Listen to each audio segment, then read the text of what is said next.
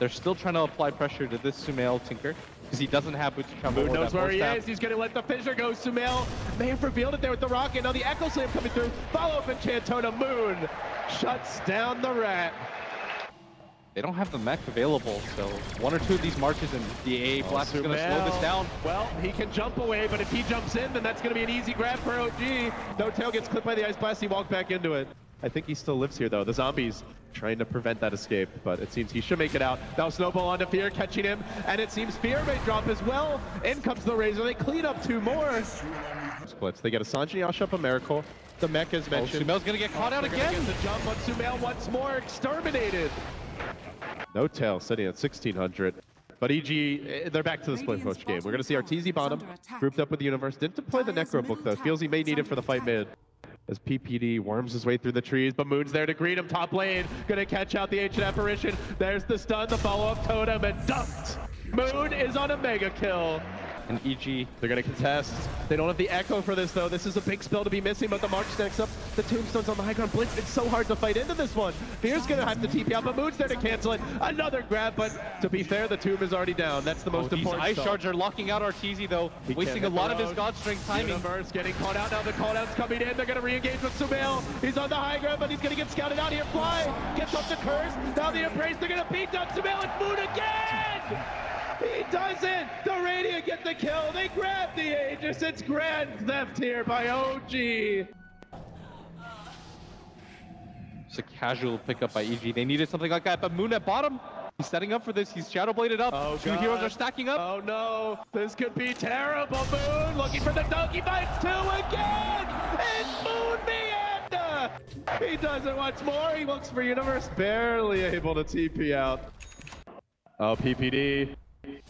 Moon is on the hunt again. He's going to deploy that Shadow Blade. Does he realize what's happening? He's only got a few seconds to react here. Hot on the trail. There's no tier two. Meet the totem, the fissure, the blink. Another grab. It's a monster kill for Moon. One man wrecking crew here. Let's say this goes an hour in, which uh, as a Tinker game, it easily could. Is there a point where EG just flat out have the better late game lineup, or vice versa? Oh, top lane. Hold that thought. They're taking the go on Arteezy again. It's Moon. He gets up the echo, the follow-up damage. Another grab. What a show. 8, 2, and 7 on an off-lane Earthshaker. He started 0 and 2. He's gone 8, 0, and 7 since that time. EG. They will walk into the Rosh pit here. Actually, I should correct myself. Blinked in. So not technically scouted out here, but OG are in the neighborhood. They seem to know something's up, and now the tomb gets dropped. The march gets spammed out. Really tough to fight into this. It's a whole lot of stuff, but they're gonna chance it anyway. The BKB for Miracle, and he goes right on Arteezy, gets off the static link, but he breaks it quickly. The Ice Blast coming through, hits on Miracle, glimmered up for now, no tail engaging. Can he kill off anything? The BKBs are ending. They're gonna have to back. And now the March can really work its magic. There's the curse. It's a pit on the late end of the fight, but it does lock down Arteezy. Trying to finish him off. They look to keep him alive. There's the echo. It's Moon again. He's done it. Two down. Just like that.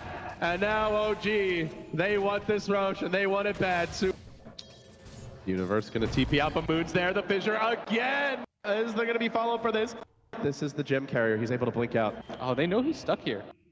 With the canceled uh, They have to go for this. This is the gem carrier Moon. Perfect on the blink. Is gonna find him with the enchant Oh, totem. he can't afford to lose what this. a gigantic grab for OG. And Moon again delivers. 10, 2, and 8. And Sumail split pushing days are pretty much over. Oh, no tail.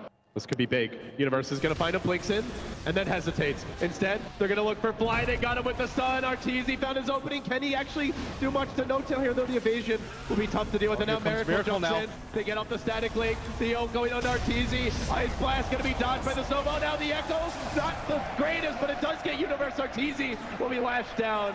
And solid is all they need here for OG as they look for Fear too, trying to TP away. Not gonna happen. He's denied as well. The old man's down. And Sent PPD's gonna get caught. to the nursing home, and two to fall is Peter. That's four.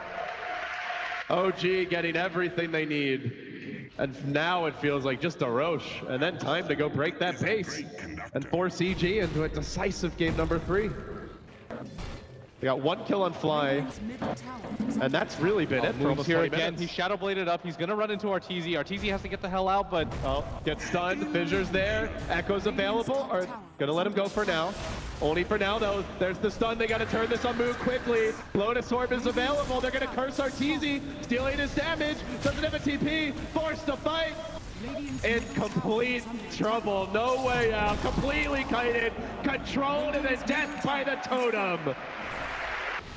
They're doing such a good job with this slow siege. They're just sending up their Aegis. They jump in though, they go for Sumail, they find him with the Walrus Punch, the Shivas is there. Miracle looking for the follow-up initiation and Moon tries to get in, but then Obnoxious Tinker keeps him out. They don't really need him though. Arteezy, kited, controlled, dead, Fissure, look for the dunk, it's gonna end in absolute agony for EG. Three buyback, four may follow. They still got a Satanic, and they're diving deeper for this. No Tail though has been stunned. Can they burst him down? This will be big. Pops the Satanic, looks to turn, tries to hang Oh, on. he's not even gonna die. He lives! They just can't get him. And Moon ends this game 14-2 and 13, 39 to 12 the final score.